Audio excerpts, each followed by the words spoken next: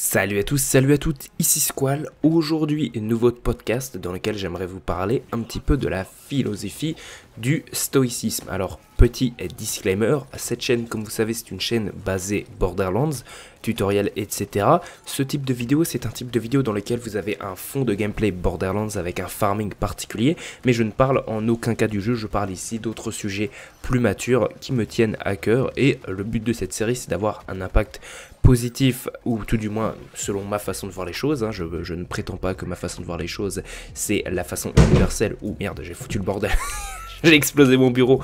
Bref, euh, je ne prétends pas que c'est la meilleure façon de voir les choses, etc. Mais euh, c'est des vidéos qui ont un petit peu pour but de débattre, machin, etc. Si ça vous intéresse pas, chose que je peux comprendre et que vous êtes juste là pour du Borderlands, partez tout de suite. Cette vidéo ne vous plaira pas. Mais lâchez le pouce bleu avant de partir, hein, histoire de booster quand même le référencement. Bref, vous m'avez compris. Aujourd'hui, euh, ce dont j'aimerais parler, c'est du courant du stoïcisme. Alors le, stoïcisme, c'est une philosophie de vie occidentale qui a pour but, grosso modo, de voir le monde de manière rationnelle. Tout simplement. Le but du stoïcisme, c'est de faire la distinction entre ce, ce, dont vous avez un contrôle, et euh, là où vous devez donc euh, mettre tous vos efforts, et ce que vous ne pouvez pas maîtriser et que vous devez accepter quoi qu'il en coûte.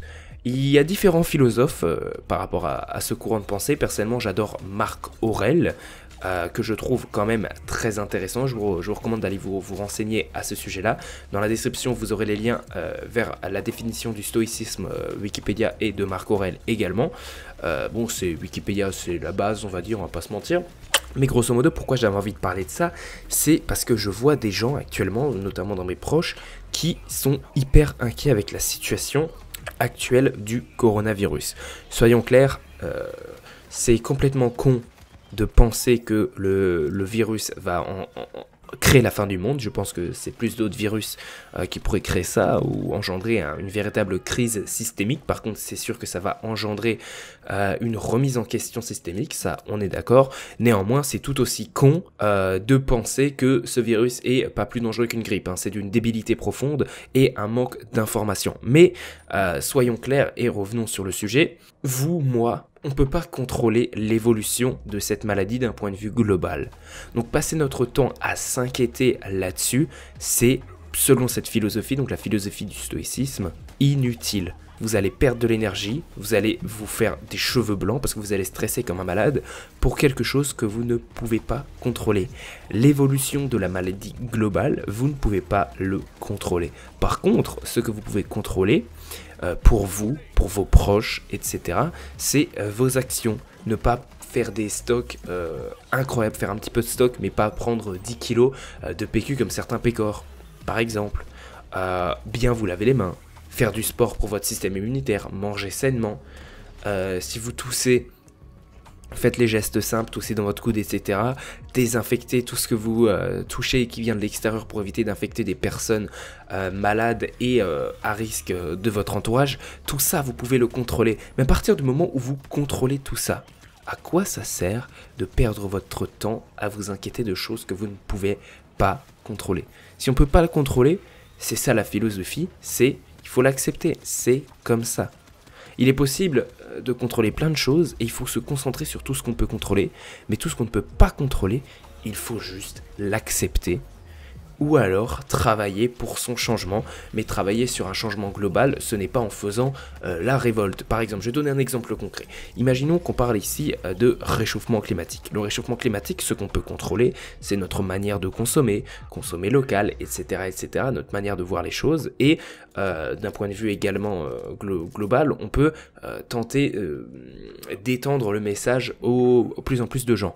Mais on ne peut pas contrôler comment les gens vont agir. On peut tenter d'avoir un impact, mais on ne peut pas contrôler euh, comment les gens vont agir, comment euh, les lobbies vont agir à, grande échelle, etc. Ce qu'on peut contrôler, c'est notre consommation personnelle, tenter d'influencer les autres, mais si ça marche pas, euh, je suis désolé de vous dire ça, mais les grandes révolutions qui vont faire du bien à la planète, ce n'est pas dans des beaux discours qu'ils se font, c'est avec c'est pas dans des révoltes ou dans des manifestations, c'est les gens qui deviennent ingénieurs, qui vont travailler sur des nouvelles sources d'énergie plus propres, qui vont travailler sur la réduction de l'utilisation des pesticides, tout en permettant euh, de maintenir un, certain degré de production, etc. C'est les gens qui travaillent qui ont un réel impact, pas les gens qui se révoltent. Je suis désolé. Alors après, bien entendu, on peut toujours dire, oui, dans certains cas, euh, euh, pour maintenir des, comment ça s'appelle, pour maintenir certains acquis sociaux, etc. Je suis d'accord. Et attention, tout ce que je dis, il faut pas le prendre au pied de la lettre. Apprenez à mettre en perspective ce que je dis. Attention, hein, et, tout est une question de, point de vue, bien entendu. Vous pouvez être d'accord et pas d'accord avec moi, on est d'accord. Hein. Attention, pas la peine de devenir hystérique. Euh, c'est juste, le courant, c'est, le courant du stoïcisme, c'est tout votre temps, utilisez-le sur ce que vous pouvez contrôler. Ce que vous ne pouvez pas contrôler, acceptez-le. Et si vous refusez de l'accepter, et ça c'est quelque chose, on va dire, c'est une petite évolution personnelle, on va dire, créer des choses qui pourront avoir un réel impact sur le très euh, long terme et sur une grande euh, quantité de personnes.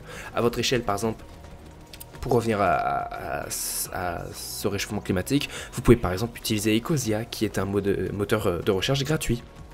Ce moteur de recherche euh, vous permettra tout simplement de planter un arbre au bout de quelques recherches, je crois que c'est toutes les 30 recherches si je dis pas de conneries, quelque chose comme ça, et euh, ça fera du bien également à des personnes très loin de vous, qui notamment euh, en Afrique et autres, euh, qui peuvent avoir un, travail grâce à Ecosia par exemple. On peut tous faire des choses à notre échelle, mais une fois qu'on fait le maximum à notre échelle, ben, perdre de l'énergie, se stresser, se mettre en mauvaise santé à, à cause de choses qu'on peut pas contrôler, ça n'a aucun sens selon bien entendu ce courant philosophique.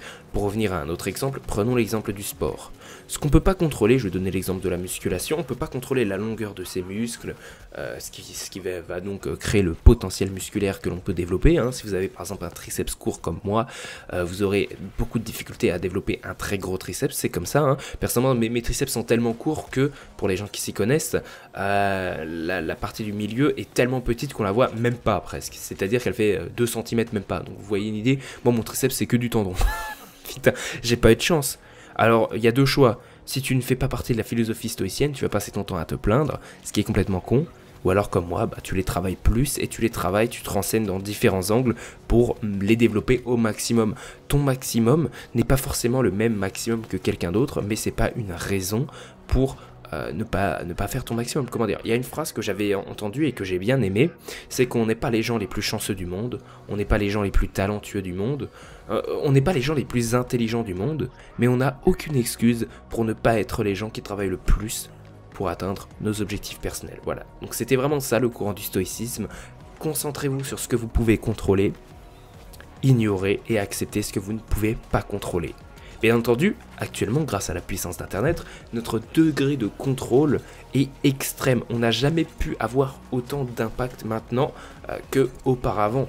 Les personnes qui... Euh, comment dire, il y, a plein de choses. Par exemple, avec l'environnement, euh, les conférences de certaines personnes qui sont revues sur Internet des milliers, des milliers, des milliers, voire des millions de fois, ont un impact. On peut toujours avoir un impact. Mais même sur des, je pense qu'individuellement, on peut avoir un impact plus grand qu'on le pense sur des choses sur lesquelles on pense qu'on ne peut avoir aucun impact, mais cela nécessite non pas de se plaindre, mais d'agir et de travailler. Les vrais impacts à très long terme pour revenir sur l'environnement, puisque c'est une cause qui me tient à cœur, ce n'est pas euh, les gens qui se plaignent et qui révoltent qui vont faire ces changements. C'est les gens qui arrêtent de consommer chez des pollueurs. C'est des gens qui ont conscience de leur impact et qui cherchent à le réduire ou voire même à le combler. Pour vous donner un petit tips, vous pouvez soit réduire votre impact en consommant moins et mieux, mais également combler votre impact en par, exemple en replantant euh, ou en finançant la, plantation de certains arbres qui vont absorber du CO2 au bout de quelques années. Je pense que, euh, je crois que si j'avais lu une étude, si on plantait 1200 milliards d'arbres, d'arbres, pardon, on va pas planter des, AK-47, si on plantait 1200 milliards d'arbres, ça pourrait euh, absorber plus de 75% des, émissions de CO2 euh, sur la planète, quelque chose comme ça. Si seulement 1 milliard des êtres humains les plus riches plantaient à chacun 1000 arbres, ou 1200 arbres, on s'en sortirait très bien. Mais par, il existe des solutions. Par exemple, moi je vous recommande Reforest Action, c'est là-bas que je vais pour planter des arbres. Personnellement, j'ai déjà financé euh, plusieurs milliers d'arbres, ça coûte 3 euros par arbre. Personnellement, je l'ai financé pour euh, combler l'impact écologique de euh, mes business en ligne et également de mon activité personnelle. Et je pense que c'est un impact qu'on peut avoir. Voilà. Et je pense que c'est la meilleure philosophie de vie pour moi parce que premièrement, on va arrêter de perdre notre temps avec des choses qu'on ne peut pas contrôler. C'est inutile de perdre son temps et de se stresser sur des choses qu'on peut pas contrôler. Et en plus de ça, c'est une philosophie de vie sur laquelle, quand on se concentre là-dessus, sur le stoïcisme, eh bien, il y a certaines situations où on a tellement envie d'avoir un impact qu'on ferme notre gueule, qu'on arrête de se plaindre et qu'on cherche des solutions. Et là, c'est là que ça a un vrai impact. Se plaindre n'a aucun impact et c'est pour ça que j'aime pas trop les gens qui se plaignent. J'aime vraiment bien les gens euh, qui se battent pour s'en sortir. Voilà. Après, bien entendu, comme toujours, euh, moi je m'en sors mieux que certaines personnes qui se plaignent, comme il y a certaines personnes qui se plaignent, qui s'en sortent mieux que d'autres gens qui se plaignent pas et qui se battent pour s'en sortir. Voilà. On est tous mieux que quelqu'un et on est tous sur un piédestal malheureusement par rapport à quelqu'un d'autre. C'est comme ça, faut l'accepter, on n'y peut rien. Euh, donc il y aura toujours quelqu'un qui sera peut-être euh, plus en difficulté de moi que moi, qui va me dire ouais mais toi tu fais ci, tu fais ça, c'est facile de parler pour toi. je veux dire, il y, y, a des gens qui ont cette philosophie de vie qui s'en sortent beaucoup mieux que moi, et je suis pas là à leur dire ouais c'est plus facile pour toi. C'est toujours plus facile et plus difficile pour un autre, so what? C'est comme ça. Euh, comme on dit en anglais, euh, life is unfair, get used to it. Bon, avec mon accent de merde, mais grosso merdo, c'est la vie est injuste, faut l'accepter. C'est quoi? C'est euh, la vie est injuste, accepte-le et ferme ta gueule, quoi, grosso merdo. voilà. Bref, c'était un podcast là-dessus. J'espère vraiment que ça vous aura plu et surtout que ça vous aura aidé. Dans les commentaires, dites-moi ce que vous en pensez. Si vous avez d'autres astuces, etc., dites-le moi également. Ça peut être intéressant de débattre à ce sujet-là. Et moi, je vous retrouve pardon, tous très bientôt pour une prochaine vidéo. C'était Squall. Salut à tous.